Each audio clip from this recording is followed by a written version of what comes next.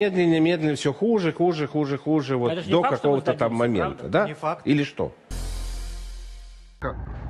Смотрите, ребята, что происходит. Вот откуда цены растущие, такие огромные. Вот что творят вообще, непонятно. Вот для че- чего это все делается?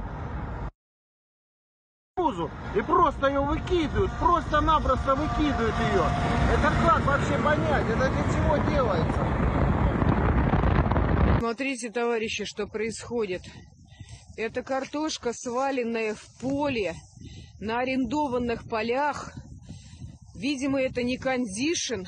КАМАЗами сгружается и выбрасывается в поле.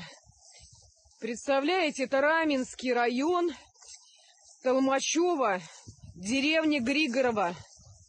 Приезжайте, у кого проблема с картошкой, Набирайте мешками 10 КАМАЗов. Вот я иду сейчас, смотрю, 10 кучек, товарищи. Что творится? Это не кондишн. Лучше продали в какие-нибудь свинофермы бы по дешевке эту картошку. Я думаю, фермеры купили бы ее за копейки. С удовольствием для откорма скота. Посмотрите, что творится. Вон еще вдалеке еще одна куча. Смотрите.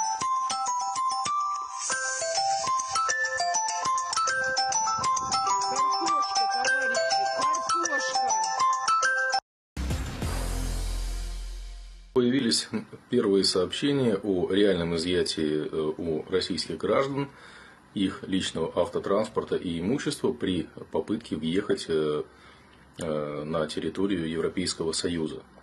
Я так думаю, что э, стоит напомнить им, что россияне в Европу чаще всего путешествуют на танках. Нам не нужен будет личный транспорт для того, чтобы посетить Берлин и другие столицы Европы. Вот смотрите, как развиваются теперь в России дела. Суд впервые в России признал беременную женщину виновной в уклонении от мобилизации. Приговорил ее к шести годам заключения со сро- с отсрочкой до 14 лет, пока ребенку не исполнится 14 лет. Что как бы в России это дела, наверное, плохи, раз уже женщин призывают на службу и сажают их за уклонение. Но все, кто меня смотрит, вы помните, я вам говорил, что 1 октября начнется мобилизация. Так что ждем, проверим, но в следующем видео я вам расскажу, почему я так думаю. Правительство заказало 230 тысяч удостоверений для семей погибших. Потерь нет, а 230 тысяч удостоверений все-таки заказали. Совпадение? Подумайте. Готовы за родину умереть? Я не хочу об этом говорить. Блин, я вообще не интересуюсь политикой. Может, А все равно этого не избежать ведь. Как бы вы интересовались, не интересовались, ну хотя бы вот скажите, готовы. Там Чем вы пугаете меня неизбежностью бытия? Мы находимся в России. Вот.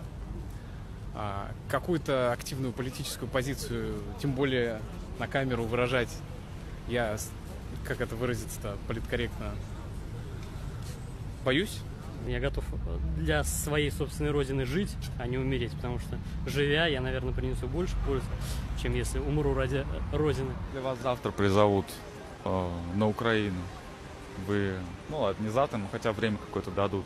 Вы как к этому отнесетесь? Ну, буду в шоке, но куда делать? То, что вы у себя в телеграм-канале написали, как мне тревожно стало. Что происходит? Почему Гурулев так беспокоится? Где вранье-то? В чем вранье? Вранье в реальном положении, составе, состоянии своих войск и в реальных действиях. Вот в этом деле. У нас частенько доклады не совпадают даже линии переднего края с тем, что находится на самом деле. Ну давайте я До сих пор? Ну есть такая тема. Чего особо скрывать, что у нас есть проблемы с контрбатарейной борьбой, у нас есть проблемы по борьбе с беспилотниками противника. Украинцы закупили приличное количество беспилотников, в том числе у Китая. Они их модернизировали, они их приспособили под свои функции, какие-то под разведки, какие-то под ударные, какие-то под универсальные, ну и так далее и тому подобное.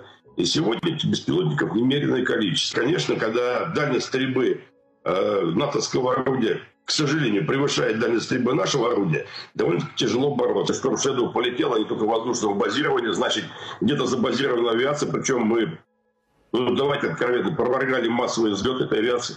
10 ракет, это нам было поднять не один самолет. Тоже, увы, не шутка.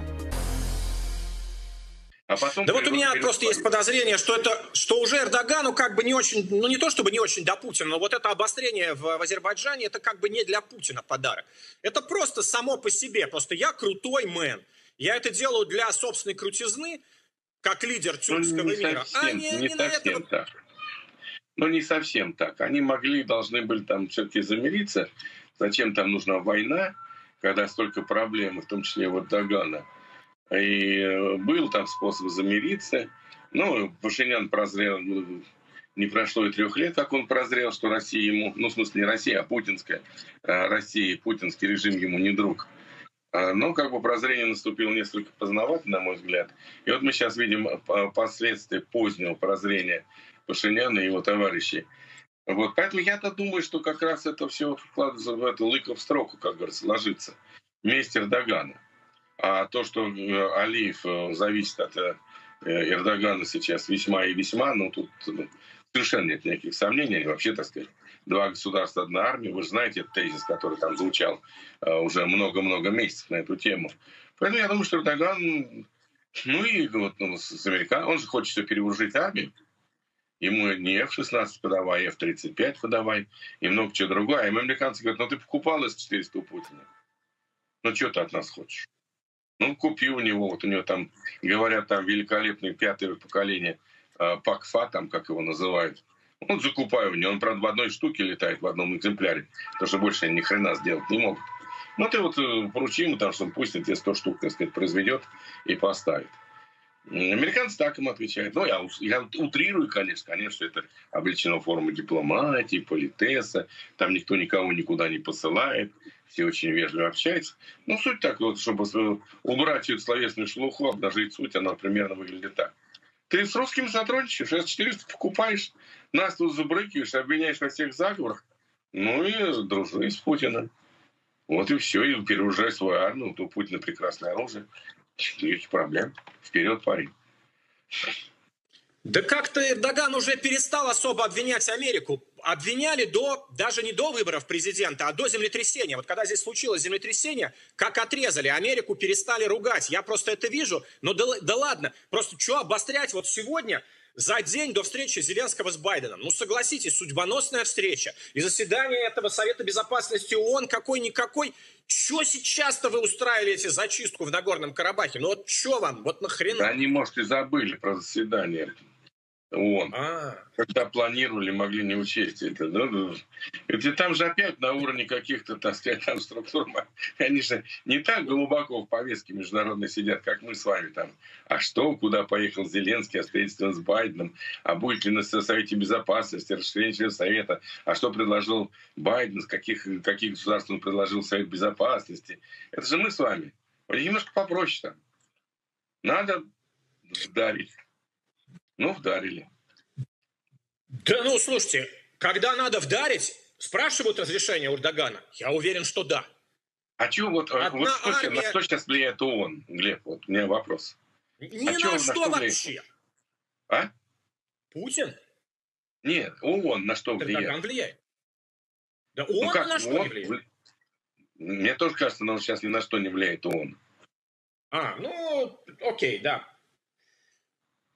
Как скажете, если собака лает, ветер носит, ладно, ладно, хорошо, значит, это сказать, ну, а имеет ну, значение. Ну, на самом так... деле, ООН, а, Украина обратилась в ООН, обратилась по э, этой самой ГРЭС.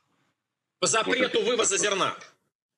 По вывозу зерна обратилась. Обратилась там по другим вопросам. Ничего. Ну, а ничего, еще 274 э, резолюция, может быть, будет принята. Нет, это важно, международное осуждение. Конечно, моральная поддержка важна. Она э, мораль начинается с моральной поддержки, с коллективных действий, а потом это все превращается в соглашение, э, в помощь, в поставку оружия. Это я все понимаю. Я не то, чтобы совсем нигилист. Но просто он уж не такой суперинструмент, который вот там прям, ах, вот Підпишіться на канал і не пропускайте нові відео. Пишіть коментарі і діліться з друзями. Ми також будемо вдячні за підтримку нашої роботи на Patreon або інших зручних платформах. Реквізити в описі до відео.